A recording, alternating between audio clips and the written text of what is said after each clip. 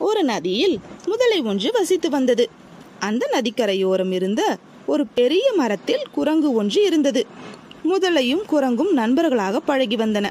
ஒரு நாள் பெண் முதலை ஆண் முதலையிடம் தன் ஆசையை தெரிவித்தது.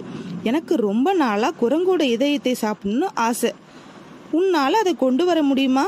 ஆண் முதலை யோசித்தது. அதுக்கென்ன? என்னோட குரங்கு நண்பனை நம்ம வீட்டுக்கு சாப்பிட கூப்பிடுகிறேன். அவன் வந்ததும் அவனை கொண்டுட்டு இதயத்தை உனக்கு தரேன். நீ சாப்பிடு. அடுத்த நாள் ஆண் முதலை தன் குரங்கு நண்பனை விருந்திற்கு கூப்பிட்டது.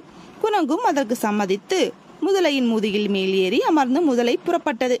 பாதி தூரம் ஆற்றை கடந்ததும் ஆண் முதலை குரங்கிடம் பேசியது.